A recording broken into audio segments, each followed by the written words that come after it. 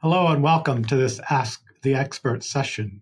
My name is Dr. Scott Turner. Today I'll be providing answers to commonly asked questions about the use of biomarkers and other aspects of Alzheimer's disease management. Do you currently recommend measuring biomarkers other than amyloid and tau in cerebrospinal fluid? The best and most validated biomarkers for Alzheimer's in CSF are amyloid, especially A beta 42, and tau, or more specifically, phosphotau 217 or phosphotau 181. Other CSF biomarkers include other tau species, neurofilament light or NFL for neurodegeneration, and glial fibrillary acidic protein or GFAP for inflammation, but these are more in the research realm currently. They may be heading towards the clinic in the near future. CSF alpha synuclein is a marker of Lewy body pathology, and 1433 protein is a marker of CJD if these disorders are in the differential diagnosis. What information does amyloid PET provide that CSF cannot, and vice versa? While CSF analysis and amyloid PET both provide evidence of amyloid pathology, amyloid PET also provides regional or anatomic localization of the amyloid deposition in the brain. Amyloid PET scans can also be quantitated by the standard uptake value ratio or SUVR and a centiloid scale.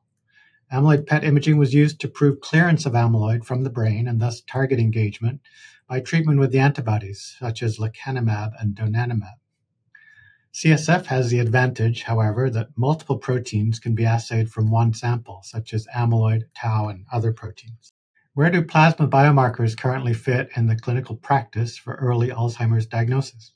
Plasma biomarkers are obviously more convenient and much less expensive than the validated gold standards, which are CSF protein analysis and amyloid PET imaging.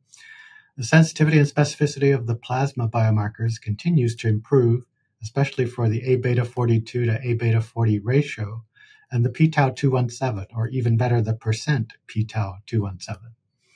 The plasma tests are currently used as a screening tool in research and now increasingly in the clinic to determine who should go on to have a lumbar puncture or an amyloid PET scan. With further research, particularly in, in more diverse populations, the plasma biomarkers may supplant these more invasive and more expensive tests for a diagnosis of mild cognitive impairment or dementia due to Alzheimer's. Is there any difference in biomarker confirmation requirements for lecanemab versus donanemab?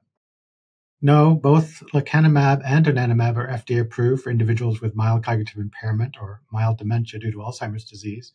For Medicare coverage, treatment with either antibody requires evidence of brain amyloid, either from CSF protein analysis or amyloid PET imaging.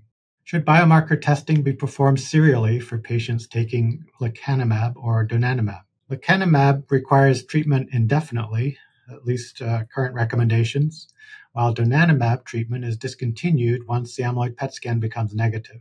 Thus, serial PET amyloid PET scans are recommended for those treated with donanemab. For the first follow-up scan, typically obtained at 12 to 18 months after beginning of treatment. Donanemab may be restarted if and when the amyloid PET scan becomes positive again, but this question remains to be answered. A possible alternative to serial amyloid PET or CSF analyses is monitoring by serial plasma testing, but this is also a work in progress. When should patients who do not experience adverse events stop taking an anti amyloid antibody? As mentioned previously, lecanemab requires indefinite treatment, while donanemab is discontinued when the amyloid PET scan becomes negative. This is found in about 70% of individuals after 52 weeks of treatment with donanemab and in 80% of individuals after 76 weeks of treatment. Patients may also stop for other reasons, such as inconvenience, cost, or the development of adverse events, including ARIA or especially symptomatic ARIA. In the future, patients may also stop treatment when the dementia advances to the late stage, which is similar to our current practice with the older oral uh, drugs that are approved for Alzheimer's disease. How can communication between clinicians who treat patients receiving anti amyloid monoclonal antibodies be improved? Communication between members of the clinical care team may be improved by sharing electronic medical record systems and or requiring a reliable historian or treatment partner to accompany the patient to all visits. This is especially important as the dementia gets more advanced.